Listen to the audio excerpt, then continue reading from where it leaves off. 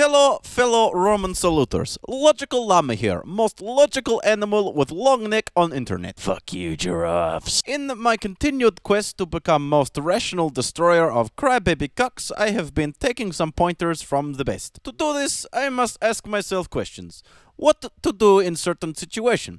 For example, what to do when lowly unpopular regressive tried to leech off my fame under guise of criticism. Luckily for me, many alphas, well, well, two that I could find, but many alphas have shown me best response to criticism. Simply call other person or imply that other person is a child sexer. When double alpha omega squared skeptic face and totally not Trump supporter Carl Akkad Swindon of Sargon Benjamin of was viciously attacked by a regressive loser with minimal subscribers and mustache monthly mouth model Michael Rollins, he didn't skip a beat. Advice don't follow or link to a proven pedophile, yeah?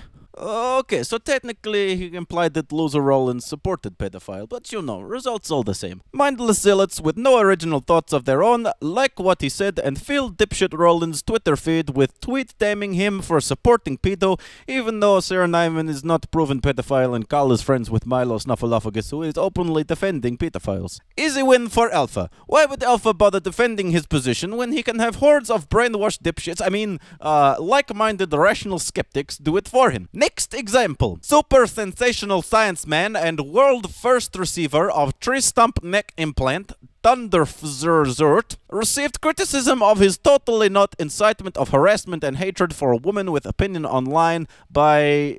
Oh, oh shit. Yeah, it's that loser Rollins again. Man, he is such a tryhard.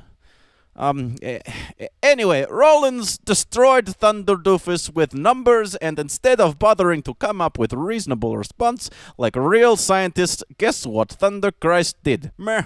It's only a matter of time before vocal male feminists come out as sexual predators.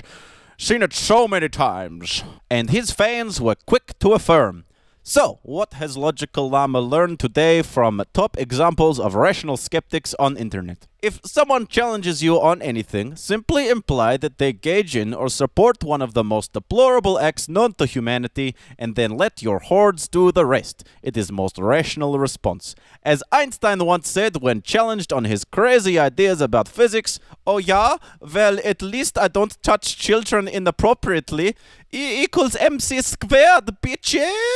That's all for today. Remember, it's only okay to be outraged by pedophilia if it helps to further your agenda. That's logic straight from the llama's mouth.